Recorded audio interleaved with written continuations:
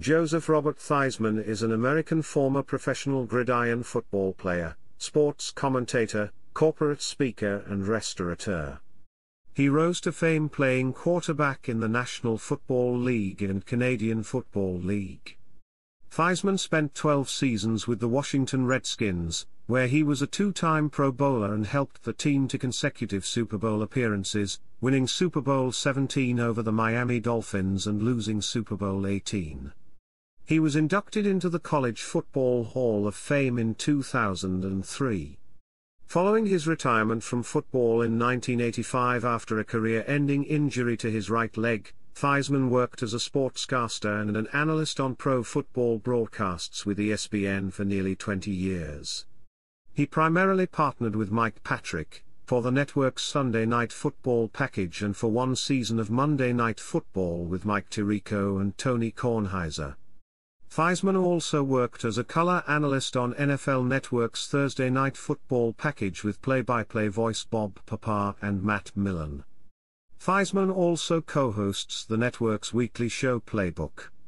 Since 2011, he has worked on the Washington football team preseason television broadcast team.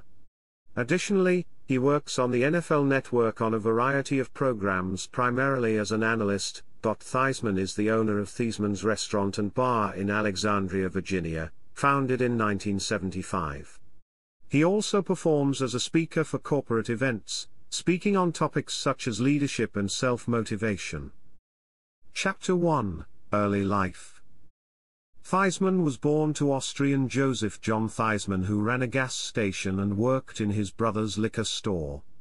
His Hungarian mother, Olga Tobias, worked for Johnson and Johnson till her retirement. Theismann was raised in South River, New Jersey, and attended South River High School, where he lettered in baseball, basketball, and football. He was a high school teammate of Drew Pearson. Theismann accepted a college football scholarship to attend the University of Notre Dame, where he lived in Zahm House.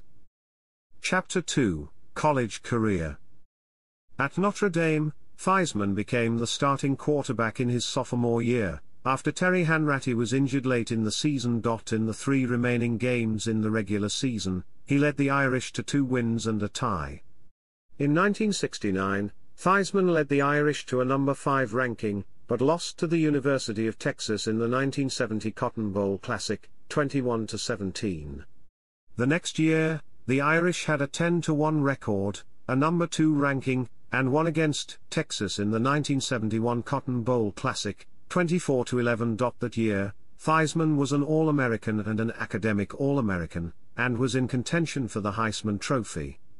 Theismann, whose last name was actually pronounced Thiesman, recounted in 2007 that it was Notre Dame publicity man Roger Valdiserri, who insisted that he change the pronunciation of his name to rhyme with Heisman, but he finished second to Jim Plunkett of Stanford University. Theismann set school records for passing yards in a season and touchdowns in a season.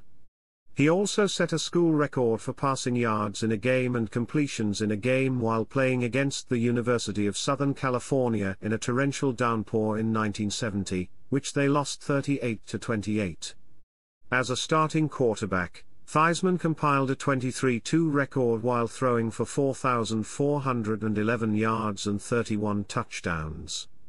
His 4,411 passing yards rank fifth on Notre Dame's career passing list. Theismann was inducted into the College Football Hall of Fame in 2003.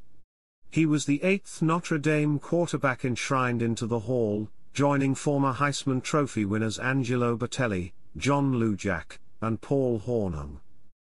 Chapter 3 Professional Career Chapter 3 Section 1 Canadian Football League.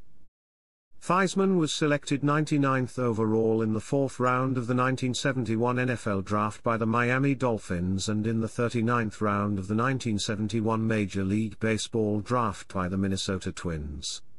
After prolonged negotiations with the Dolphins failed, Theismann elected to sign with the Toronto Argonauts of the Canadian Football League for $50,000 per season. In his rookie year, Theismann quarterbacked the Argonauts to a 10-4 record, led the league's Eastern Conference in passing statistics and won a berth in the Grey Cup game in Vancouver, British Columbia versus the Calgary Stampeders. A fumble late in the fourth quarter by Argonaut running back Leon McQuay close to the goal line cost the Argonauts what would have been their first Grey Cup victory since 1952. In 1971, Theismann completed 148 of 278 passes for 2,440 yards and 17 touchdowns. His 1972 season was shortened by injury, but he hit 77 of 127 passes for 1,157 yards and 10 touchdowns. During his last CFL season, 1973, 157 of his 274 passes were complete, for 2,496 yards and both 13 touchdowns and interceptions. He was an All-Star in both 1971 and 1973. Chapter 3 Section 2, National Football League In 1974, the Washington Redskins obtained Theismann's rights from the Dolphins in exchange for the team's first-round draft pick in 1976. Theismann left the CFL and joined the Redskins, where he served as the team's punt returner during his first season. In 1978, Theismann became the Redskins' starting quarterback, succeeding Billy Kilmer.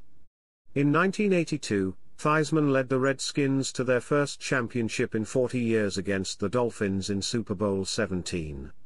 He threw two touchdowns and, with the Redskins trailing 17 to 13 in the third quarter, made arguably the most important defensive play of the game, after his pass was deflected by Dolphins lineman Kim Bokamper, causing what appeared to be an interception and short touchdown. Theismann himself was able to knock the ball out of Bokamper's hands, keeping the score close enough for Washington to stick to the run-heavy strategy that would eventually lead to victory.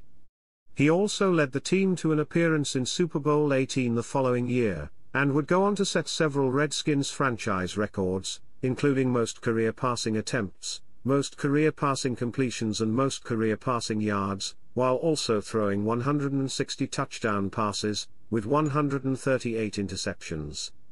On the ground, he rushed for 1,815 yards and 17 touchdowns. He was named NFL MVP in 1983 by four organizations. He earned the Player of the Game award in the second of his two Pro Bowl appearances.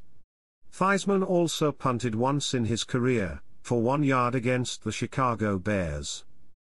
In an era when most quarterbacks had long since used variations of a double-bar face mask that afforded more protection, Theismann refused to use anything but a one-bar face mask throughout his career. However, on at least one occasion, Theismann wore a helmet with a more standard face mask. Substituting for an ineffective Billy Kilmer against the Dallas Cowboys on October 16, 1977, Theismann entered the game wearing a face mask similar to the style worn by Kenny Stabler at the time. Chapter 3 Section 2 Subsection 2 Career-ending injury On November 18, 1985, Theismann suffered a comminuted compound fracture of the tibia and fibula in his right leg during a sack by linebackers Lawrence Taylor and Harry Carson during a Monday night football game against the New York Giants telecast by ABC from RFK Stadium in Washington, D.C. The injury was later voted the NFL's most shocking moment in history by viewers in an ESPN poll, and the tackle was ultimately dubbed the hit that no one who saw it can ever forget by the Washington Post. The game's score was 7-7 in the second quarter when the Redskins attempted to run a flea flicker play, Theismann had handed off to fullback John Riggins, who subsequently lateraled the ball back to the quarterback. The Giants' defense, however, was tightly focused, and they tried to blitz Theismann, as Taylor pulled Theismann down, Taylor's knee came down and drove straight into Theismann's lower right leg, fracturing both the tibia and the fibula as Giants linebackers Gary Reasons and Harry Carson also joined Taylor in the sack. The pain was unbelievable, but it didn't last more than a second or two. My leg snapped like a breadstick. I heard it clearly, it sounded like two muzzled gunshots over my left shoulder. Pow, pow. It was at that point, I also found out what a magnificent machine the human body is. Almost immediately, from the knee down, all the feeling was gone in my right leg. The endorphins had kicked in, and I was not in any great pain. As Theismann was down, Taylor waved for emergency medical technicians. Initially, many Redskins personnel thought that Taylor's calling and pointing directed at their sideline was him taunting over the fact that he had successfully stopped their play, and it was a few moments later that they realized Theismann was seriously injured. The Monday Night Football announcer team of Frank Gifford, O. J. Simpson and Joe Namath had correctly inferred from the start that Taylor was calling for help. While initially only the players on the field could see the extent of the damage to Theismann's leg, the reverse angle instant replay provided a clearer view of what had actually happened. Theismann's lower leg bones were broken midway between his knee and his ankle such that his leg from his foot to his mid-shin was lying flat against the ground while the upper part of his shin up to his knee, was at a 45 degree angle to the lower part of his leg. ABC's decision to screen the reverse angle instant replay several times despite its palpably graphic content shocked millions of viewers, although as the replays were shown, Gifford repeatedly urged viewers at home to exercise discretion. The repeated screening of this replay remains to this day one of the most controversial in-game television production decisions in NFL history. The compound fracture of the tibia and fibula led to insufficient bone growth during Theismann's recovery, leaving his right leg shorter than his left. As a result, the injury ended Theismann's career, forcing him to retire at the age of 36. Theismann never blamed Taylor for his injury, while Taylor has apologized to Theismann many times, the quarterback has reiterated that Taylor was merely doing his job. Theismann's injury was highlighted in the film The Blind Side as the reason that, after the quarterback, one of the highest paid football players is the left tackle, who protects a right-handed quarterback's blind side. The same injury occurred exactly 33 years later to another Redskins quarterback, Alex Smith, on November 18, 2018, in a game against the Houston Texans when cornerback Kareem Jackson and defensive end J.J. Watt sacked Smith, a game that Theismann himself was attending. However, unlike Theismann, Smith managed to play an additional season two years later, making his season debut against the Los Angeles Rams and retiring at the end of the season after he was released from the team a month prior. Chapter 4 Career Statistics. Chapter 4 Section 1 CFL Statistics. Chapter 4 Section 2 NFL Statistics. Chapter 4 Section 3 Washington Football Team Franchise Records Most career wins by a quarterback. Most career passing yards. Most career passing completions. Most career passing attempts. Chapter 5 broadcast and acting career. In 1985, Theismann helped call Super Bowl 19 for ABC alongside Frank Gifford and Don Meredith, becoming only the second player to do commentary on a Super Bowl telecast while still an active player at the time. Theismann served as a color commentator on regional CBS NFL coverage in 1986 and 1987, then worked on ESPN's Sunday Night Football telecasts from 1988 to 2005, and on their Monday Night Football coverage in 2006. In addition to covering football, Theismann hosted the first half of the first season of American Gladiators in 1989. On March 26, 2007, ESPN announced that Ron Jaworski would replace Theismann in the Monday Night Football booth. Theismann rejected an offer to work on the network's college football coverage. He has since done a number of Washington Redskins preseason games on CSN. On September 16, 2009, the NFL Network announced that Theismann would analyze game films on the show Playbook, airing Thursday and Friday nights at 6 p.m. Eastern. On January 9, 2010, Theismann and his former head coach Joe Gibbs served as color commentators, along with play-by-play man Tom Hammond, for the Saturday AFC wildcard game, between the New York Jets and the Cincinnati Bengals. On September 6, 2010, NFL Network announced that they had added Theismann to their Thursday night football broadcast crew alongside Bob Papa and Matt Millen. The grouping lasted one season. He also co-hosted NFL games on NBC in 2010, and co-hosted NFL Network's No Huddle in 2011. Chapter 5 Section 1 Acting appearances. Theismann has occasionally acted, although most appearances are as himself or as himself in a fictional context. He does have several TV and movie appearances, including The BJ and the Bear, Cannonball Run 2, and The Man from Left Field. Theismann appeared as himself, as part of a buyer group for the fictional New York Hawks football team on the TV series Necessary Roughness, and on the post-Super Bowl episode Operation, Broken Feather of Brooklyn Nine-Nine. His most recent acting appearances were in movies for the Hallmark Channel. In 2016's Love on the Sidelines, he appeared as the father of an injured professional football player. In 2019's Snow Coming, he played an agent for professional athletes. Theismann has acted as a national spokesman for several companies including Colonial Penn Life Insurance Company and for Super Beta Prostate. Chapter 6 Personal Life Theismann fathered three children, Joseph Jr., Amy, and Patrick, with his first wife, the former Shari Brown. Soon after Theismann's injury, the couple divorced, after which Theismann began a seven-year relationship, including a brief engagement, with television personality Cathy Lee Crosby. Early in 1991, Crosby sued for $4.5 million, touching off a countersuit.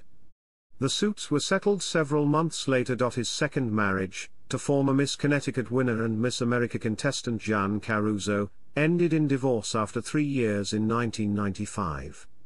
Theismann was ordered to pay nearly $1 million of marital property and $3,500 a month in alimony. Theismann is currently married to the former Robin Smith, self-described as a country girl from Memphis. They have homes in Virginia, Tennessee, and the Florida Panhandle. Chapter 7 Awards Theismann received the Golden Plate Award of the American Academy of Achievement presented by Awards Council member Tom Landry in 1983. Theismann was inducted into the New Jersey State Interscholastic Athletic Association Hall of Fame in 1997. In 2011, Theismann was inducted into the New Jersey Hall of Fame. On September 5, 2014, Theismann was honored by the Ride of Fame as they christened a double-decker sightseeing bus in Washington, D.C. dedicated to him and his achievements. Chapter 8, UFL On August 19, 2010, head coach Jay Gruden of the UFL's Florida Tuskers confirmed that Theismann introduced himself to the Tuskers as the team's new part owner.